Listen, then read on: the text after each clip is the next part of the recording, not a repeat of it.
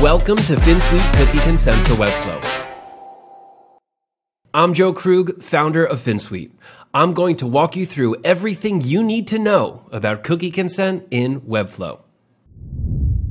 Welcome to the welcome video for Finsweet Cookie Consent for Webflow. In this video, I will review the basics of what this library is, what is it doing, and why you should be using it if you are using Webflow. First, what is cookie consent for Webflow? Let's read it right here. It's an incredibly powerful cookie consent plugin built specifically for Webflow. That's the key here, built specifically for Webflow. There are a lot of cookie consent options out there. There are free ones, there are paid ones. The free ones are good, but you have to write CSS by hand or you have to use some editor that gives you limited de design control. We don't want that. And then there are paid options, but do you really want to pay for it? No. So that's why we built this for you. It's free, it's easy to use, it does work with Webflow, it is totally designer friendly, and it does comply with cookie laws. We are GDPR compliant here. We have covered so much of the ground. We are going to cover all of that in the video series. Let's go with the quick overview here. This is just a getting started video. This is not going to go into any implementation let's look at what this plugin is all about. We use components. What does that mean in this context? Components are the elements that make up the cookie consent system. We have our banner component, we have our manager component, and we have our preferences pop up component.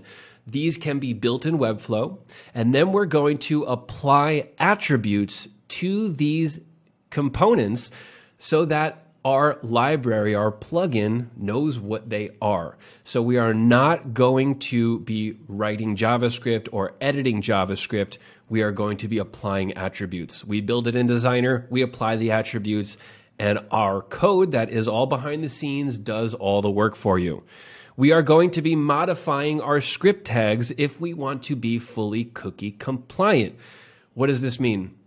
When you are fully cookie compliant, when you are GDPR compliant, you need to make sure that your scripts, your Google Analytics, your Facebook pixel do, does not fire on the page immediately. So we're going to go ahead and add some attributes to our script tags to make sure that they don't fire. And again, our library, this plugin is going to do all of the work in the background and we just have to add these simple attributes. And remember, we don't touch JavaScript. It's all attribute based. We did this for you no coders. We're also going to help you understand, even when you're using these free tools and these paid tools, you don't really know what's going on. You may be implementing your cookie consent system, but you don't know what's happening. If you follow our video tutorial series, you are going to understand what's happening. By understanding what's happening, you're going to be a better Webflow developer. You're going to understand cookies better, and you're going to sell like an effing boss. What the heck does this mean? That means when you're selling to a client or a lead or you are just talking to somebody about cookies, you're going to give them badass information that you learn in these video tutorials. So this is not just a copy paste see you later type application.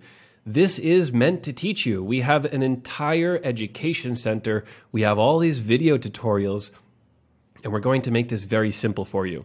So, if you're interested, if you want to learn this, that is what we're doing here. Watch these videos, understand how it works. We're going to get simple, we're going to get a little technical, but we're going to keep it simple. Don't worry. Please follow along if you're interested. And if you're not interested, just go pick out the individual videos for your specific implementation.